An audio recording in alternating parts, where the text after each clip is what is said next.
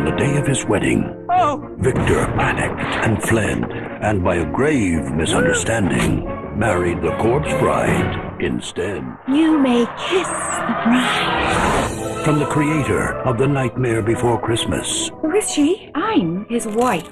Johnny Depp, Helena Bonham Carter, Maggots. Tim Burton's Corpse Bride. This is gonna be good. In select cities September 16th, starts September 23rd.